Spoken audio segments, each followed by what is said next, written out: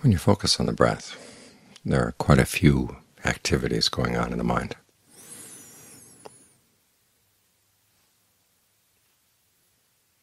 But the two most important in getting you to be with the breath and stay with the breath are directed thought and evaluation.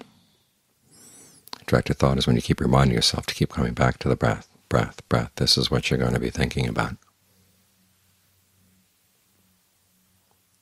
And evaluation is where you develop your discernment. You start out with simple things like, does the breath feel comfortable? Where does it feel comfortable? And if it doesn't feel comfortable, what can you do to change? Do you change the rhythm of the breathing, the depth, the heaviness of the breath? Do you change your concept of the breath if you're feeling that you have to pull the breath in through some tiny nasal passages that are feeling a little blocked? There's going to be a lot of pushing and pulling. How about thinking about the body as being the huge sponge with holes all over? The breath can come in, go out from any direction with no obstruction at all. What does that do?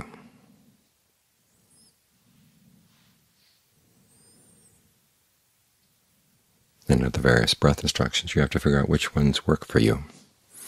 Ajaan Lee has you survey the body first and then settle down to one spot.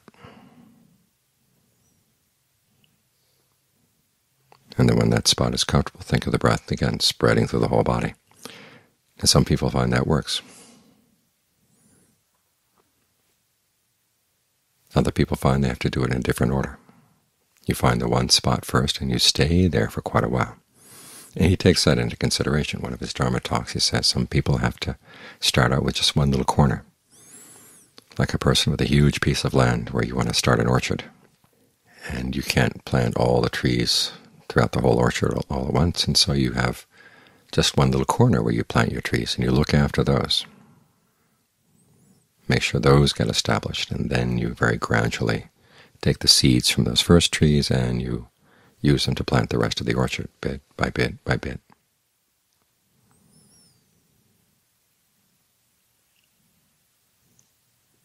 Other people find that the breath doesn't really get uncomfortable until you are fully aware of the whole body all at once.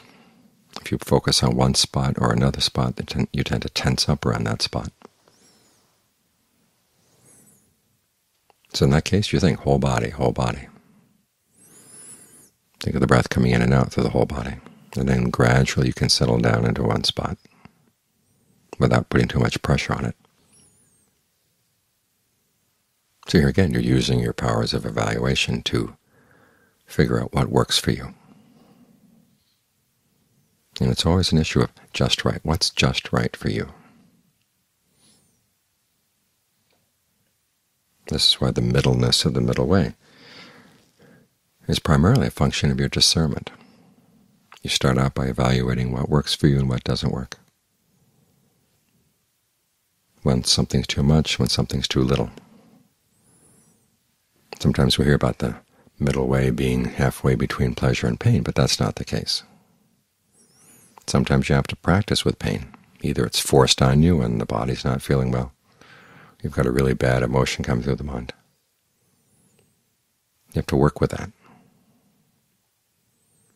Other times you find when you're living very comfortably, you start getting lazy. So you have to be willing to push yourself some more. So there are times when painful practice is useful. Contemplation of the different parts of the body.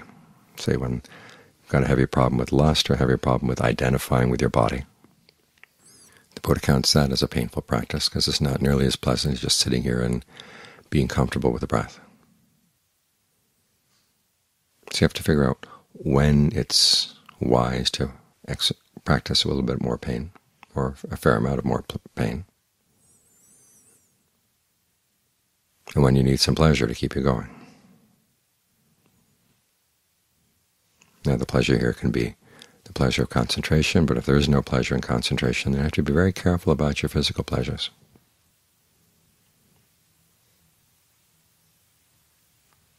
One of the things that always fascinates me about the Pali Canon is the fact that it's got wilderness poetry, and it's ascribed to Mahakassapa, of all people, who was probably the sternest of the Buddhist students.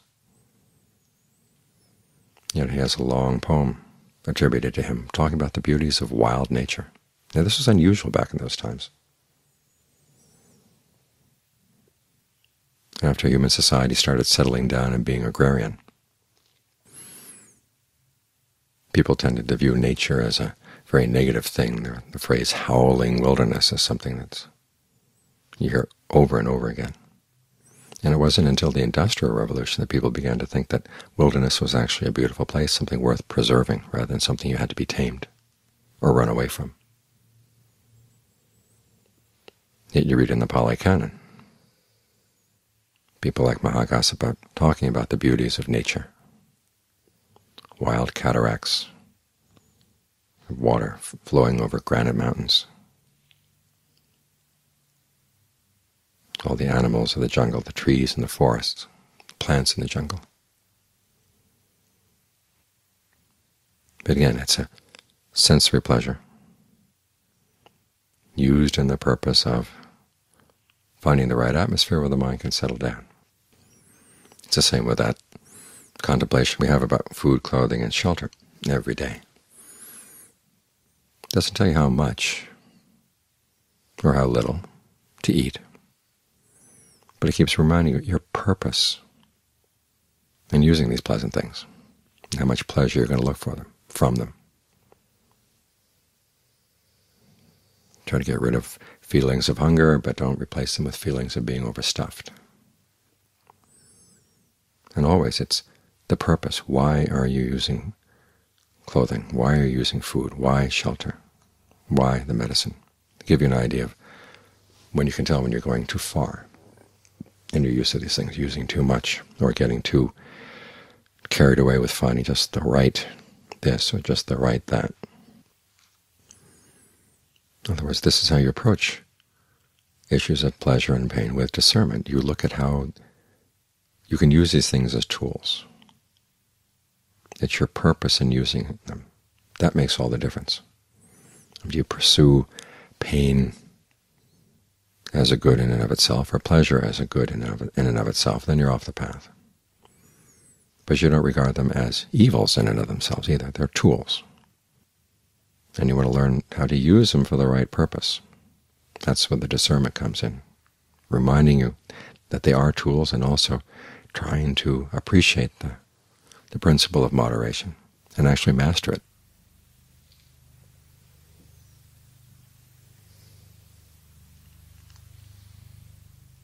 So these are all areas where you exercise your powers of evaluation so they can become powers of discernment, figuring out what works for you, what's just right for you. There's a lot of stuff that's there in the canon, there in the teachings of the Ajahns, but it's abstract. Principles, ideas, pointers. But you exercise your own discernment each time you breathe in, each time you breathe out. Figuring out where to place your attention, how long the breath is going to be, how deep it's going to be.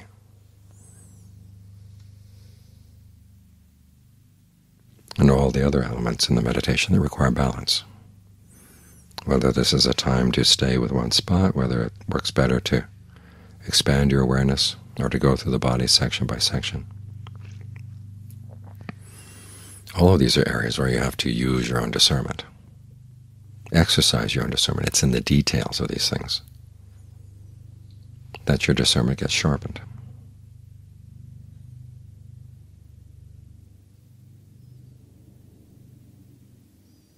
It's only through exercising your powers of discernment, your powers of evaluation, that you get a sense of when you can trust them.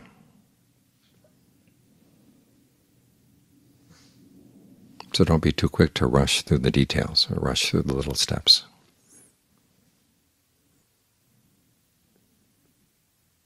Because of the discernment is in the details.